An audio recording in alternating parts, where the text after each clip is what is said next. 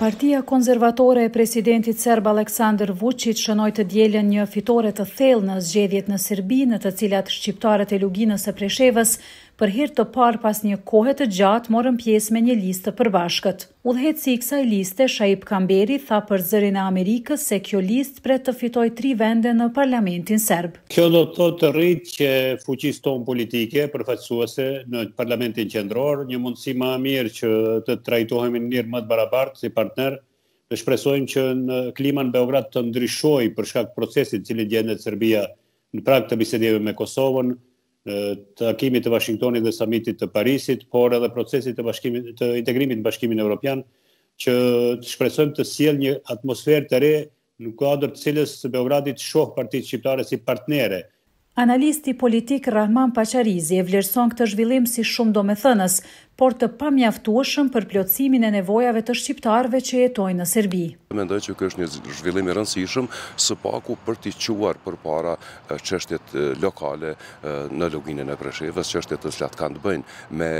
jetën e shqiptarëve atje dhe për të konsoliduar ndoshta edhe pushtetin lokal përmes fuqisë që kanë marrë shqiptarët në këto zgjedhje dhe përmes sinjalit të një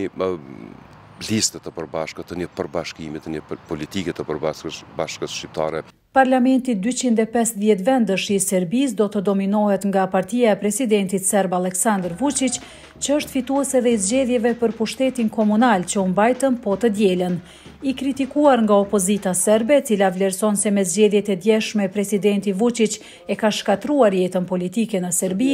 presidenti serb betonoi pushtetin e tij. Analisti Paçarizi thotë se rezultatet e zgjedhjeve në Serbi nuk ofrojnë qasje të re të këtij shteti kundruall Kosovës. Fitorja aq e fuqishme, aq dominante e presidentit, e partisë së presidentit aktual, zotit Vuçiç, është një tregues për shkallën e ulët të demokracisë në Serbi. Serbia ngadalë po shndërrohet në një vend diktatorial, po u kthehet rrënjëve të veta, origjinës së vet, sepse unë nuk besoj që ka një arsye të fuqishme që njerëzit në Serbi të votojnë në masë aq të madhe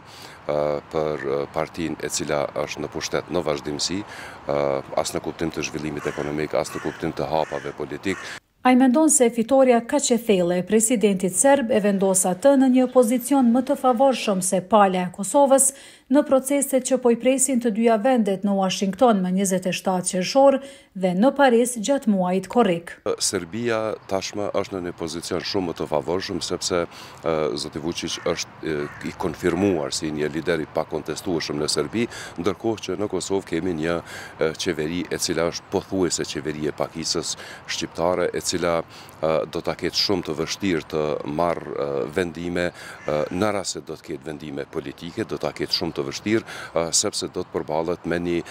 reaksion, qoftë ai reaksion real, qoftë reaksion, themi ashtu, elektoral në Kosovë nga dy parti të fuqishme opozitare. Analistët thonë se qeveria e re serbe do të përballet me trysninë në rritje të Bashkimit Evropian dhe Shteteve të Bashkuara për të njohur pavarësinë e Kosovës, gjë që shihet si thelbësore për qëndrueshmërinë rajonale. Prishtina zyrtare pret që kjo të ndodhë në kuadër të bisedimeve, por Beogradi e ka hedhur poshtë një mundësi të tillë. Presidenti serb sonte pret në Beograd të dërguarin e posaçëm të BE-së Miroslav Lajçak, ndërsa nesër ikën në Moskë ku do të takohet me presidentin rus Vladimir Putin, para takimit të së shtunës në Shtëpinë e Bardhë me ndërmjetësimin e të dërguarit amerikan Richard Grenell. Ndonëse e ka shpallur integrimin evropian si aspiratë të tij, presidenti serb synon të ruajë marrëdhënie të ngushta me Rusinë dhe Kinën. Për Zërin e Amerikës, Edlira Bllaca, Prishtinë.